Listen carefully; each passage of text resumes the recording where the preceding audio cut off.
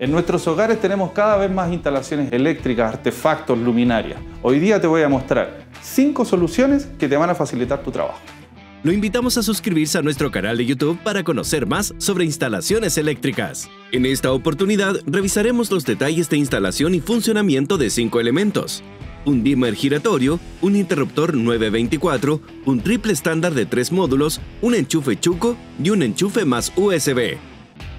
Comencemos con el dimmer giratorio.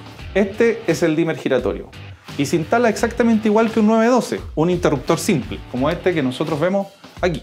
Es un interruptor que al girarlo no solo permite prender y apagar una luz, sino que también regular la potencia con la que alumbra. Es ideal para dormitorios o salas de estar, espacios multiusos que necesitan distintos tipos de iluminación. Pero, ¿cómo funciona? Regla de oro. Antes de intervenir una instalación eléctrica, siempre cortar la energía del circuito. Si no sabe cuál es el circuito, cortar siempre el general. Y también los elementos de protección personal y de seguridad, guantes de nylon, atornilladores de electricidad con mango aislado y atornillador tester o buscapolo. Estoy reemplazando este interruptor por nuestro dimmer giratorio. Una vez que tenemos la posibilidad de ver los conductores, siempre y verificar la ausencia de tensión en los conductores. Como ustedes ven, acá tenemos dos cables rojos. Un cable rojo es el que trae la energía a la fase limpia y otro conductor es el que llega a las luminarias o artefactos retiramos los conductores para luego instalarlos en nuestro dimmer giratorio. Como ustedes ven acá, al igual que el interruptor, trae dos puntos de conexión. Uno que trae una L, que corresponde a la fase. Siempre es importante que esto quede bien, bien apretado, bien firme. Y otro que trae un símbolo, que es donde nosotros vamos a conectar la luminaria en el otro punto de contacto para poder linear o regular la intensidad de nuestras luminarias. Una vez que conectamos, colocamos nuevamente la placa sobre la caja de distribución.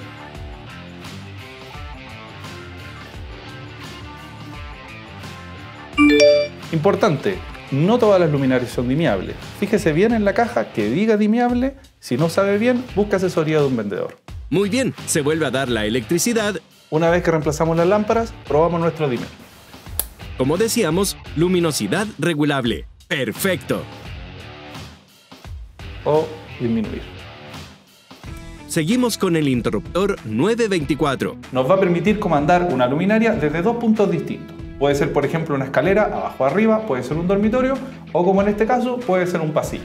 Por ejemplo, apagamos de aquí y nosotros venimos a este otro lugar, al otro 924 y podemos encender. Se diferencia de los otros porque tiene tres puntos de conexión, uno para la fase y dos para los puentes. Lo vamos a ver en esta maqueta. Estos interruptores siempre trabajan de par. A un interruptor, cualquiera de los dos, tiene que llegar la fase con energía. Al otro interruptor tiene que salir hacia la lámpara. Entre los dos interruptores vamos a tener puentes. Desde el punto 1, que este que está acá, tiene que llegar hasta el punto 1 del otro interruptor. Del punto 2 de este interruptor tenemos que llegar también al punto 2 de este otro. Es muy importante que se respeten los sentidos de los puentes para no tener problemas de conexión. Aquí observamos la instalación del 924 por detrás. Podemos ver que en esta caja de distribución tenemos un interruptor y en esta otra caja de distribución tenemos el otro interruptor. A esta caja llega la energía eléctrica desde el tablero y desde esta otra caja sale el conductor eléctrico hacia la lámpara. ¡Excelente! Ahora pasamos a los enchufes partiendo por el triple estándar 3 módulos. Este enchufe se caracteriza porque trae todos sus módulos precableados, lo que nos permite llegar con un solo juego de conductores y ya tenemos energizados todos sus módulos.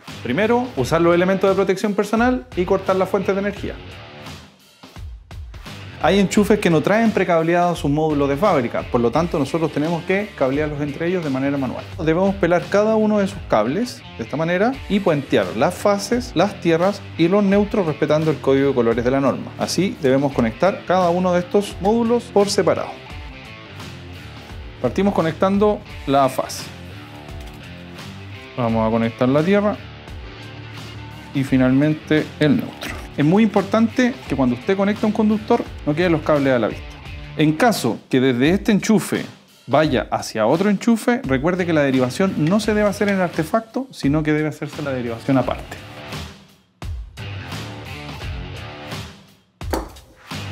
Finalmente se cierra la tapa.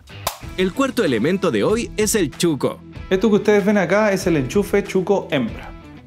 Se utiliza ya que algunos artefactos eléctricos de mayor consumo traen un enchufe chuco macho. Para poder instalarlo en los artefactos tradicionales generalmente se usa un adaptador, lo que no es recomendable por la capacidad de corriente. Peor aún si usted corta el conductor y reemplaza el enchufe, porque en ese caso perdería la garantía del artefacto. Por esto que nosotros recomendamos instalar este tipo de artefactos que permiten enchufar. Primero, dejar sus cables disponibles. Trae indicado el punto de conexión de tierra. Importante que se fijen en eso. Vamos a conectar sus fases.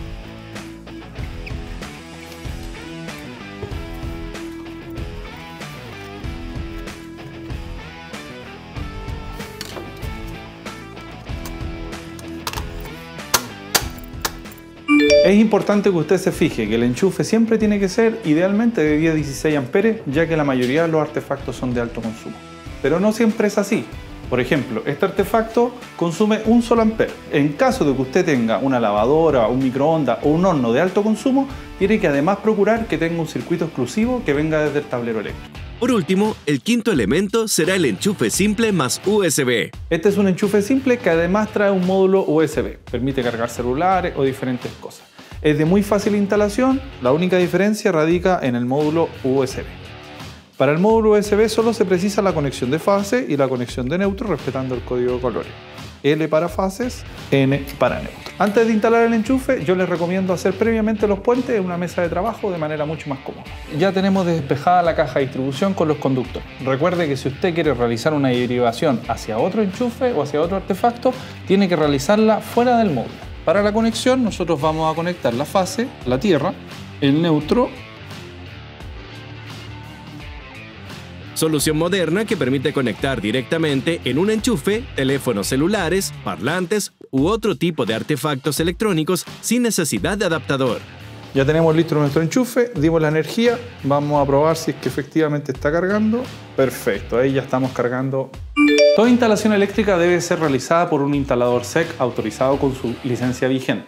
Si usted no posee esa calificación, lo invito a capacitarse para que amplíe sus posibilidades de trabajo y además crezca profesionalmente. De esta forma, conocimos cinco elementos que salen de lo común en las instalaciones eléctricas domiciliarias y que le dan a un sistema eléctrico más funcionalidades para el usuario. Para más consejos, lo esperamos en nuestras redes sociales, Instagram, Facebook y nuestro canal de YouTube. Suscríbase para ver todas las novedades que tenemos para usted. Sodimac, más socios que nunca.